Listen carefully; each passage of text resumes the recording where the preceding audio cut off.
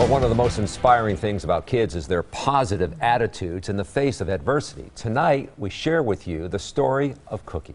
This Wauwatosa girl is just entering her teen years, but as Courtney Garrett shows us, she's already fought the battle of a lifetime.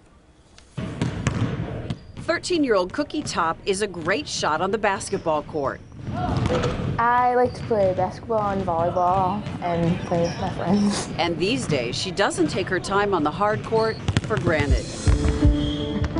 Cookie was diagnosed with cutaneous T cell lymphoma in the summer of 2012. I didn't really know what to expect out of it, so I, I think that was a good way to go through it when I just didn't really know what was in front of me. Doctors told Cookie's parents, Linda and Dan, her particular lymphoma is incredibly rare in children. They've never seen it at our children's hospital. This is the first case. When, when it's seen, it's seen in, in men between 50 and 60 years old. But that didn't faze Cookie, who's earned the nickname One Tough Cookie over the years.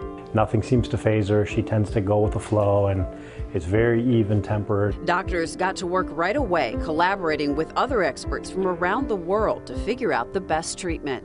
And the one doctor even took the information and presented it at a seminar in Italy. And so we even went international looking for feedback and insight. It was scary in the beginning when more pathology kept coming back, you know, greater level of detail. Cookie went through six tough rounds of chemo and spent weeks at a time at Children's Hospital.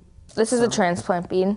She has these beads of courage as a reminder of all those treatments. Ones with the bumps are like called bumps in the road. So if like you've gotten admitted like a, with a fever or something, you'd get this. Doctors decided Cookie's best chance at a cure would be a bone marrow transplant. Luckily, her big sister Annie was a perfect match. Awesome that she was willing to do that for me. That procedure was a success.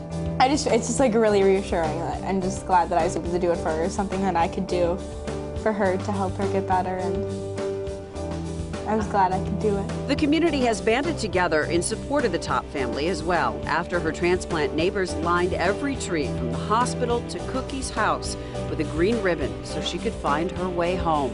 Unbelievably proud of her. It uh, gets me choked up though. Sorry.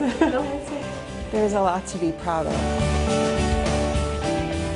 The family is also thankful for the MACC Fund and hopes their story inspires others who are facing a life threatening diagnosis. I think they're great. They helped me throughout this whole process. That we are sitting here today in, with this aggressive cancer in a state of remission, we are so blessed. And we are praying for more blessings. You can read more about Cookie and her brave battle on her Caring Bridge website. There's a link on today's TMJ4.com website.